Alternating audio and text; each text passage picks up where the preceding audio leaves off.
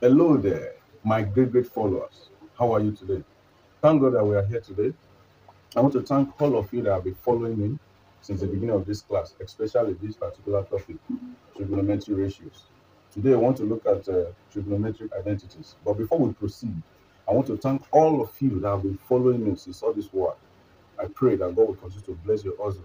And don't forget that at the end of this today's class, please subscribe, share, so that other communities that need this particular topic can enjoy it and pass their exams. Those of you in advanced level, those of you that want to write JAMB, those of you in statistics class, because I know that in this my channel, this is where you can learn physics, chemistry, further mathematics with an ease, without struggle. So let's proceed with this particular topic. So today, the first one we shall look at is sine theta is equals to cos 90 degree minus theta. 2. Cos theta is equals to sine 90 degree minus theta. Tan theta is equals to cot 90 degree minus theta. Imagine this. These are identities.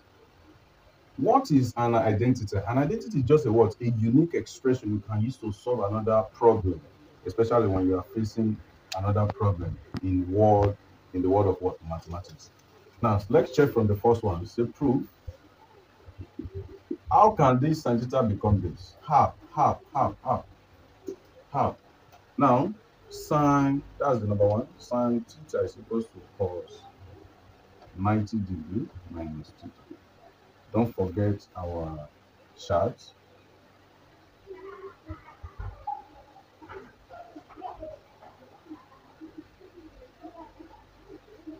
This is what? A right angle triangle. A, B, C. Now let's name this place alpha because we are proving an identity. So we can name this place letter A, letter small c, and letter B. This is the hypotenuse side. This will be the opposite side. Anywhere the angle is facing is the what? Is the opposite side. So now let's check. Sine theta, remember, is what? Opposite over what? Hypotenuse. Opposite over hypotenuse. Is equals to cos alpha. Is it true? Let's see. Theta is cos alpha. How? Look at it. Opposite. Eh, sorry. Adjacent. Adjacent. So this is the adjacent side over what? Hypotenuse. A over B. Did you see that? Theta is cos alpha. That means we have A over B and A over B. So therefore, is the same thing as what cos 90 degree minus theta. It is obvious because in order for us to get this angle, we must subtract it from 90. That's why you are seeing it to the cos. Because this and this they have what the same identity. So let's move to number two, which is cos alpha to what? Sine 90 minus theta. Cos alpha is equal to sine 90 degree minus theta. Let's check from here. Now remember, cos theta is what? Adjacent. I, where is the adjacent of this side? This place. C hypotenuse. So we have C over B is equals to sine alpha. Is it true? Let's check. Is equals to sine alpha. Sine is what? Opposite over what? Hypotenuse. As you can see. We have the same. So which is at the end of the day, we have sine what? 90 degree minus theta. You can see. Tan theta is equals to cos 90 degree minus theta. Remember that tan theta is what? Opposite over what? Adjacent. Opposite over adjacent. A over C. And which is called alpha. Remember that cot alpha is the reverse of our tan theta. Because we have tan theta on its own to be sin theta over cos theta. Then cot theta on its own is 1 over tan theta. So cos, so that means this one will now be cos theta over what? Sine theta. You see the reverse of this is this? So we now have cos 90 degree minus. Number four, sine square theta plus cos square theta is equals to 1. Now look at this expression. Remember, we are dealing with a, an identity. And I told you that is what is a unique expression that you can use to solve another one, especially for those of you in uh, architectural engineering and mechanical engineering. Please don't joke with this particular topic. Remember, I told you from the beginning of this page that an algebraic equation is an expression that have an equal sign. That means the left hand side is equal to the right hand side of this equation. That is, this is equal to one. How? How? How? How can we do that? We can do that now. Now, we know that this is one, this is one, and this is what square root two. For those of you that will be following this page, go and check my previous class. You will discover that one square plus one square will give square root two, according to Pythagoras rule. So now let's move. Sine square theta is equal to what? Opposite over hypotenuse. Opposite over hypotenuse. Then cos square theta is equal to what? Adjacent adjacent over hypotenuse. So this plus this will give you one. That is what it's trying to say. So we now have 1 over square root 2 square plus 1 over square root 2 square is equals to 1 times 1, 1 over root 2 times root 2 will give you root 4 plus 1 over root 4 as well. So at the end of the day, we have 1 over 2.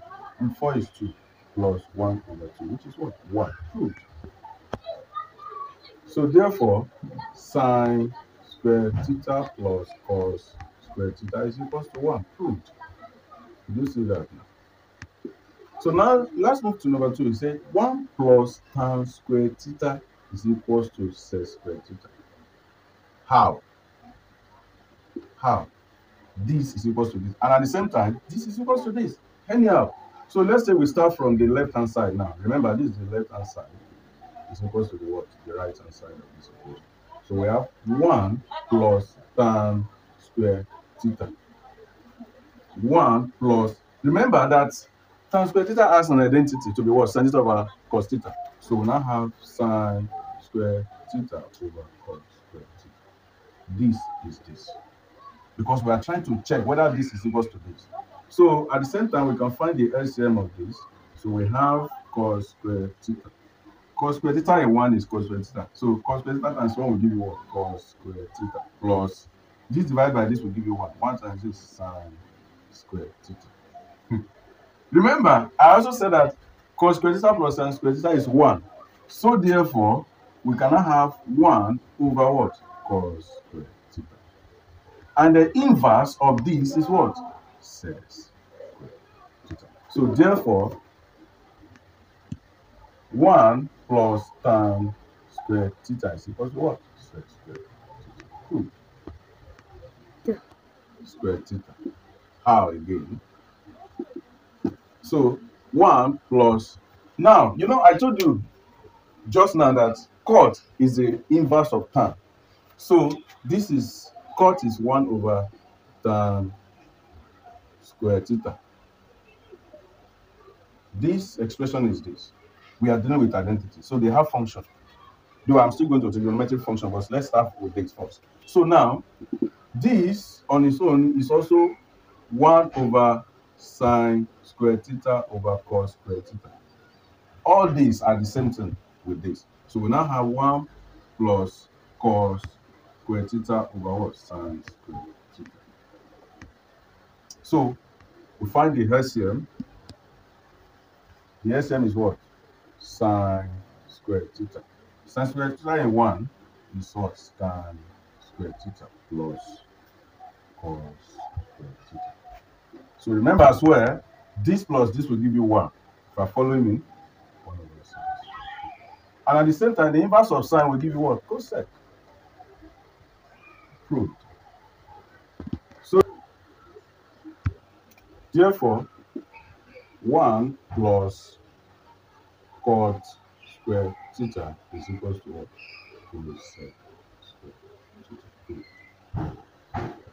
So let's look at one worked example here. For those of you that want to write JAMB, NABTEB, whatever exam that you want to write. So he's saying that uh,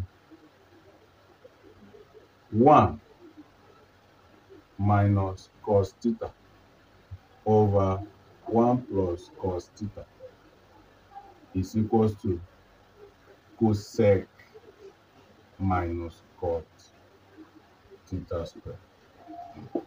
how that should prove prove that this is equals to this.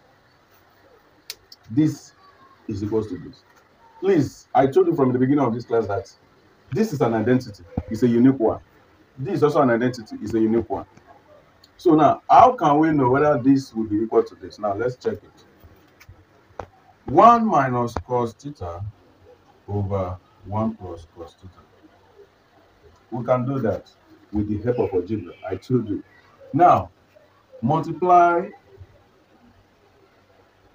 both the numerator and the denominator by 1 minus cos theta. Now, 1 minus cos theta over 1 plus cos theta times 1 minus cos theta over 1 minus cos theta because I said that you should multiply both the numerator and denominator with this in order to make it easier. So when you multiply this with this, you now have 1 minus cos square theta. 1 minus cos theta square all over. Now this is difference of in sign, plus and minus. So you can now have 1 minus cos square theta. So at the end of the day, we now have 1 minus cos theta square all over 1 minus cos theta square is an identity. It's equal to sine square theta. Do you accept? Because I told you from the beginning that sine square theta plus cos square theta is equal to 1. Sine square theta is equal to 1 minus cos square theta. Did you see that now? This is an identity that you can use to replace all these functions. So, 1 minus cos theta square all over replace this with this sine square theta. Will be look at this expression. This is 1 this is this. So we can have 1 over sine theta minus cos theta over sine theta square. They are the same right? Yes because this is sine square theta we clear the bracket. Then this over this. So at the end of the day we cannot have 1 over sine theta is the same thing as what? The inverse of what? Cosec. So we cannot have cosec theta minus cos theta over sine theta is cot. Cot